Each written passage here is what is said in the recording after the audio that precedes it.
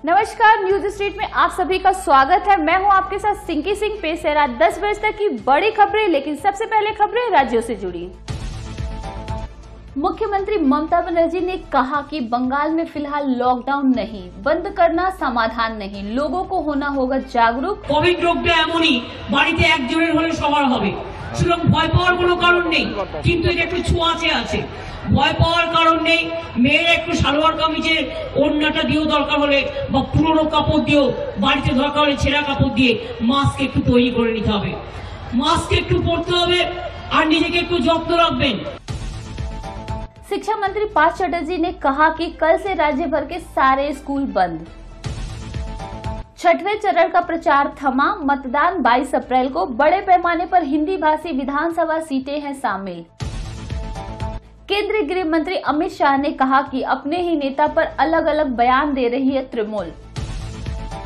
मुख्य सचिव अलापन बंदोपाध्याय ने राज्यपाल को दी कोविड के हालातों की जानकारी। देश दुनिया से जुड़ी खबरें। सरकार ने कोरोना वैक्सीनेशन पर बड़ा फैसला लिया है। देश में एक मई से 18 साल से ऊपर के हर व्यक्ति को लगेगा वैक्सीन। दिल्ली में लॉकडाउन। आज से 26 अप्रैल की सुबह तक केवल ज़रूरी सेवाएँ। केजरीवाल बोले रोज 25,000 केस आते रहे तो हमारा हेल्थ सिस्टम चरमरा जाएगा। पूर्व प्रधानमंत्री मनमोहन सिंह हुए कोरोना पॉजिटिव। दिल्ली एम्स में भर्ती देश में एक्टिव मरीजों की संख्या बढ़कर हुई 20 लाख के ऊपर। अब रुक करते हैं जिलों की खबरों की ओर। राज चक्रवर्ती ने कहा कि बैरकपुर से गुंडागर्दी मिटाकर ही दम लूँगा। लड़कियों को बहुत सिक्योरिटी चाहिए।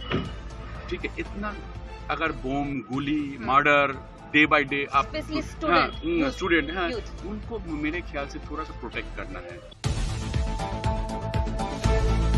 चंद्रमणि शुक्ला ने कहा कि बैरकपुर में तृणमूल का अत्याचार अब खत्म होगा। दिया है परिवर्तन इस बार पश्चिम बंगाल में ये भी एकदम तय है। यहाँ पर परिवर्तन होने जा रहा है। टीएमसी की सरकार जा रही है और बीजेपी की सरकार आ रही है। सोदपुर में देर रात बमबारी से इलाके में तनाव। भाजपा प्रार्थी सन्मय बनर्जी के घर पर भी तीन बम फेंके गए। पानीहाटी में भी भाजपा नेताओं के घरों पर बमबाजी আমরা শান্তিপ্রিয় মানুষ বাইরে থেকে এসে অশান্তি সৃষ্টি করবেন না আমারাটির মানুষ কিন্তু ভালোভাবে নেবে না এরপর কিছু হলে আমি পুলিশকেও বলছি এরপর কিছু হলে আমাদের দায় না আপনারা বুঝে নেবেন कल का मौसम महानगर का अधिकतम तापमान 37 डिग्री सेल्सियस और न्यूनतम तापमान 27 डिग्री सेल्सियस दर्ज किया गया है धूप खिली रहेगी